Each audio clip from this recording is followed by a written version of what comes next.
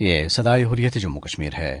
Kashmir update کے ساتھ ابن سلام۔ بھارت کی جابرانہ پابندیوں کے باعث وادی کشمیر اور جموں کے مختلف علاقوں میں آج ایک سو چودہویں روز بھی خوف و ہراس اور غیر یقینیت چھائی رہی۔ تجارتی مراکز بند اور اسکول اور دفاتر ویرانی کا منظر پیش کر رہے ہیں۔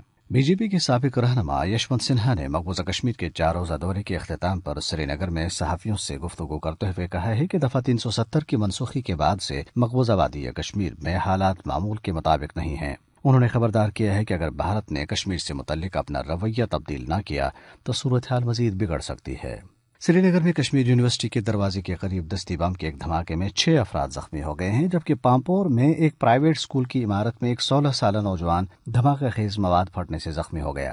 تعلیمی اداروں میں ایک ہی نوعیت کے ان دو واقعات کا پیش آنا معنی خیز قرار دیا جا رہا ہے۔ دنیاسنات دربگام پلوامہ میں قابض بھارتی فوج کے ہاتھوں تین نوجوانوں کے قتل کے خلاف احتجاجی مظاہرے ہوئے ہیں۔ قابض فورسز نے طاقت کا وحشانہ استعمال کر کے متعدد مظاہرین کو زخمی کر دیا۔ بھارتی فوج نے سوپور کے مختلف علاقوں میں چھاپوں کے دوران پانچ کشمیری نوجوانوں کو گرفتار کر لیا ہے، جبکہ پانچ اگست کے بعد جاری عوامی مزاحمت میں قائدانہ کردار ادا کرنے والے سورا سری نگر کے غیور لوگوں کو سزا دینے اور ان کا عزم توڑنے کے لیے قابض فوج نے ایک اور کریک ڈاؤن کیا۔ کارروائی کے دوران ڈرون اور موٹر بوٹس بھی استعمال کیے گئے۔ بھارتی فوج اسرائیل سے ہنگامی بنیادوں پر حاصل کیے گئے دو سو چالیس اسپائک ٹینک شکن میزائل اور بارہ لانچر کنٹرول لائن پر نصب کر رہی ہے۔ اپڈیٹ ختم ہوا۔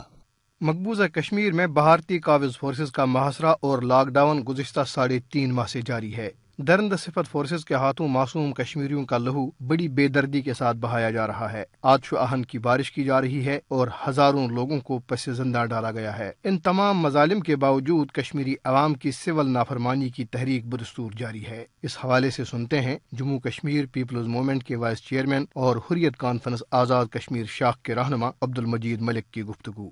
مقبوضہ ریاست میں حالات بہت سنگین ہو چکے ہیں۔ تلاشیوں کا سلسلہ جاری ہے، لوگ محاصرے میں ہیں، گرفتاریاں بلا جواب جاری ہیں اور کشمیریوں کی شہادتیں ہو رہی ہیں۔ عالمی برادری خاموش ہے یون خاموش ہے۔ کشمیری جو اس وقت مشکل ترین دور سے گزر رہے ہیں، کوئی ادویات کی کمی ہے، بیماریوں میں مبتلا ہیں، ہندوستان کی جیلیں بھر چکے ہیں، قید کر کے نوجوانوں کو لے جا رہے ہیں۔ لیڈرشپ قید ہے، لہٰذا ان چیمپئن بننے والوں، جمہوریت کے چیمپئن بننے والے ممالک سے گزارش ہے کہ وہ کشمیریوں کے خون کے آخری قطرے کو گرنے کا انتظار نہ کریں، بلکہ کوشش کر کے دباؤ ڈالیں بھارت پر کہ وہ مسئلہ کشمیر کو، کشمیری خواہشات کے مطابق ہم کرا جاتے ہیں اس کے مطابق حل کریں۔ اگرچہ اقوام متحدہ انسانی حقوق کے عالمی ادارے یہاں تک کہ بھارت کے بازمیر لوگ اور سول سوسائٹی سے وابستہ افراد بھی ریاست میں انسانی حقوق کی زبوں حالی پر تشویش کا اظہار کر رہے ہیں، تاہم مقبوضہ کشمیر میں بھارتی مظالم کو رکوانے اور مسئلے کشمیر کے حل کے لیے ٹھوس اقدامات وقت کی اہم ضرورت ہے۔